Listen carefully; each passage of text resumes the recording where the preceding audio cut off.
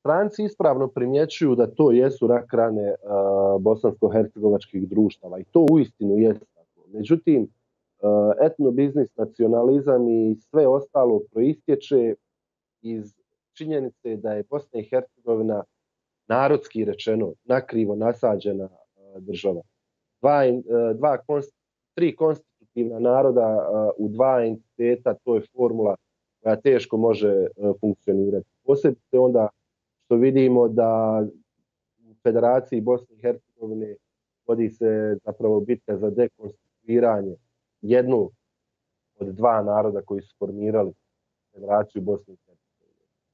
Za zaustavljanje nacionalizma, za zaustavljanje etnobiznisa i tako dalje, dakle negativnih pojava koje opterećuju bosansko-hercegovačko društvo, uključujući i korupciju i nepotizam i sve ostalo što ide tim pojmovima. Dakle, nužno je poštivati temeljne dokumente, uporno se vraćam na, na to da je nužno poštivati zakone ove države, da je nužno poštivati ustav ove države. Dakle, ako se ne poštuje ustav, ako politički akteri, pa čak i međunarodni politički akteri, negiraju ustav koji je trenutno na snazi u Bosni i Hercegovini, pa što drugo očekivati?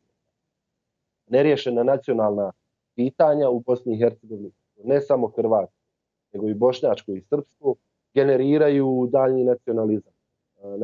Nacionalizam se uvijek javlja ondje gdje se nacionalne zajednice ostaju ugrožene. U Bosni i Hercegovini definitivno Hrvatska nacionalna zajednica se osjeća ugroženo, ima argumente zbog čega se osjeća ugroženo. Ugroženo se osjeća bošnjačka nacionalna zajednica, ali i srpska. A, tako da to je jedan koloplet uh, odnosa i koloplet faktora koji je jako teško raspetljati, uvjetno rečeno, ali je moguće. Dakle, ono što je potrebno učiniti je poštivati ustav, poštivati zakone ove zemlje. Ako je Ustavni sud rekao da je dom naroda, dom konstitutivnih naroda Bosne i Hercegovine, koje moraju biti predstavljeni upravo konstitutivni narod, onda nema razgovora dalje o tom. To se jednostavno mora kroz zakone provesti. Ako je Ustavni sud rekao u presudi u apelaciji Alije Izetbegovića početka milenija da je konstitutivnost temeljni i nadkrovljujući princip Ustava Bosne i Hercegovine koje se sva druga ustavna načela i zakoni države Bosne i Hercegovine imaju povinovati. Znači, to se mora poštovati.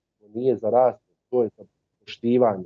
Međutim, mi vidimo ovdje sasvim suprotne procese, vidimo da politički akteri negiraju i ustav i presude ustavnog suda i onda imamo nered kakav imamo. Onda imamo uh, bujanje nacionalizma sa svih strana uh, i zapravo to je ono što kao kancer iznutra izjeda Bosnu i Hercegovinu.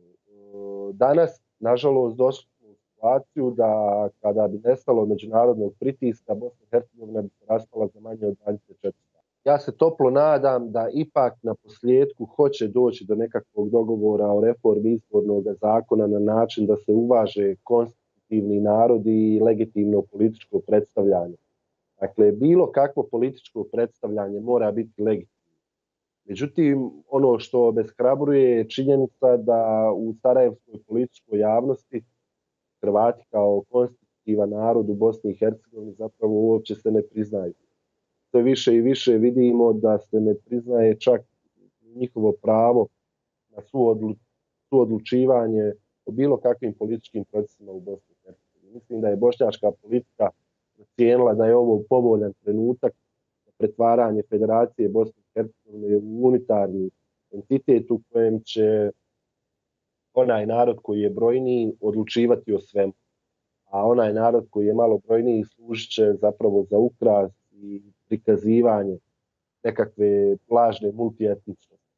E, mislim također da, da je u bošnjačkoj političkoj javnosti da je toliko postao radikaliziran stav da treba uh, odbaciti bilo kakvu suradnju sa hrvatskim političkim faktorom, da i on, ako bi netko i bio spreman pristati na bilo kakve promjene, da je pitanje kako bi prošao u, upravo u toj vlastitoj, odnosno Sarajevskoj javnosti. Stvari su postale maligne, nažalost, iako sam ranije kroz godine gajio nekakav optimizam da se ovdje nešto može uraditi, da se može nešto dogovoriti i zapravo da nam vrlo malo nedostaje da postanemo normalna, nekakva normalna država.